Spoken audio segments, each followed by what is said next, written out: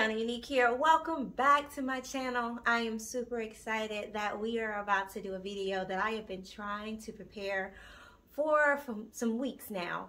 Um, I'm so happy that I have a sponsor or a collaboration with this video. But before we get into that, if you are new to the channel, go ahead and hit that subscribe button so you won't miss out on any of my future videos. And if you are a subscriber already, welcome back. And this is going to be a quick and easy tutorial on how to make your own jersey jacket. Now, the Letterman's jackets are like a big trend right now for girls, especially the teenagers, where they're the cropped style. And I seen uh, uh, Shanti wear this during a performance, and I looked up the jacket that she had on, which I'll show that picture right here. It was over $4,000. And I'm like, $4,000 for like a Letterman style jacket? I can definitely make one cheaper than that. And so I actually went on Amazon and found the perfect jacket for this tutorial. Feel free that if you already have one and you want to go ahead and add your own patches to it, do your own thing, I definitely um, love to upcycle things. So going that route is much easier. But let's go ahead and get into this jersey jacket. Okay, so first we are going to get into this jersey jacket. I absolutely love this. I got it off of Amazon. The link is in the description. But uh, they have a lot of different colors. But I want to try to mimic as much as possible of the color that Ashanti wore, the jacket. So I went ahead and went with this fuchsia looking pink. Now on Amazon, they are calling this a rose, I think it's a rose red is what they're calling it, but it is definitely to me fuchsia pink. And I wanted to make sure that the sleeves were white as well. Now this is a very stretchy material and it is the cropped and it has pockets. And as you can tell, you cannot see through this. I wanted to also make sure that it was thick enough to where I could actually wear it and stay warm because you know you want to not have a jacket that is purposeless really. So anyway i am so excited about this. And now we're to put a couple of patches in the front definitely in the back and on the sleeves to mimic as much as possible of that same uh, jersey jacket style now let's get into where these patches are coming from. Super excited.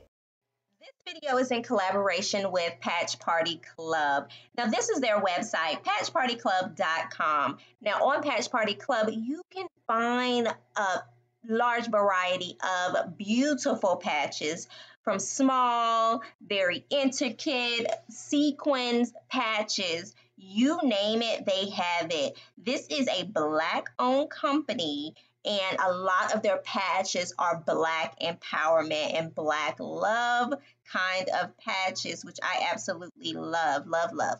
And big thing if you are the type that likes to do upcycling or if you are big on patches which i believe i am about to be because i am super excited about this jacket, then uh, they have a subscription where you can go and subscribe to their party patch box and you can get patches every month. Okay, so here are the patches that was sent to me. So first is this queen here. Um, this is definitely going on the back. I am absolutely loving the detail and quality of these patches. As you can see, these are heat. So this is the adhesive. So these are heat soluble. They will definitely attach on with heat. We will be using an iron for this. And then um, look at this, Savage. So beautiful. I am excited. So um, I'm definitely going to play around with these, but this is kind of what I'm feeling for the back. Uh-huh. Let's go ahead and take a look at some more of these patches.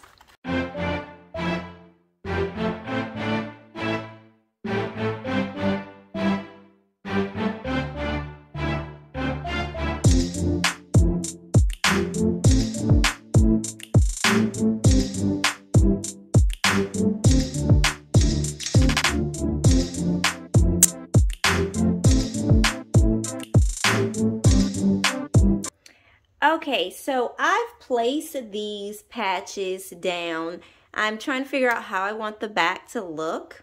And so as you can see here, I just have it laid out and positioned. So you definitely want to do yours and lay it out. Make sure that it is nice, even, and straight before you iron this on. Now, this jacket is a polyester with some spandex. So you want to make sure that your heat is on medium heat. So not too low, not too high, especially not high because you don't want to melt your fabric or melt any of your details in your patch.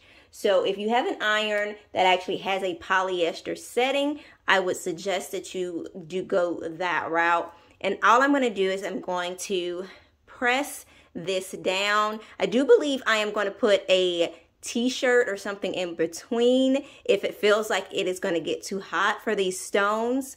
Um, but I'm going to go ahead and give that a try. Now, I really like this one. So I know I definitely want it to go right here. And this is another one that stood out for me. So I think I'm going to put her on that side. And then this one, let's see. I'm just to play around with the placement, but I want to make sure that it's in places that I really feel like are going to stand out. Okay, so now I have my patches attached to the front and the back. I have not done the arms yet, but what I want to talk to you about is um, with certain patches, there's different things that you may have to do. So like for this type of patch, if you have, it has the, um, the plastic that is on top of it and you want to heat press it, with your iron before you peel off the plastic topping. Now when it comes to these, these on the back, which I'm going to show you an example like this, they have adhesive all the way to the edge. And so when you get ready to heat press them, you won't really have to worry about any edges coming up. But with a patch like this one, as you can see on the back of this, we have heavy um, threading going all the way around it. Now, when you get ready to heat press this or iron this down, your adhesive here in the center is going to take well, but you are going to have the ends where they kind of lift up a bit. So to show you right here, I have, they, they lifting up. I have already attached this, but it lifts up right here in the corner and yeah, a little bit in my corners. So what you're going to do is take needle and thread, and this is the clear thread. Instead of having to worry about getting a red, a pink, a blue, a purple, if you purchase some of the clear thread and a needle, and you're just gonna simply tack the edges by weaving in and out going down here. Now, it doesn't have to be like super tight. Just make sure, I mean, super close together. Just make sure that you tacking just around the edges. And that way, that'll secure your patch down. So that way, when it comes to washing, of course, we're going to wash this in um, cold water.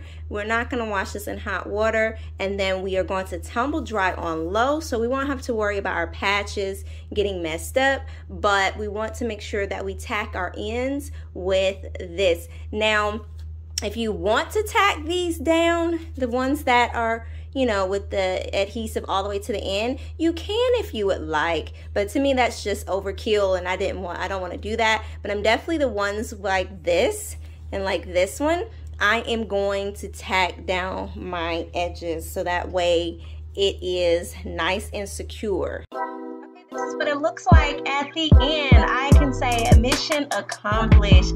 This jacket is giving everything it came to give and more.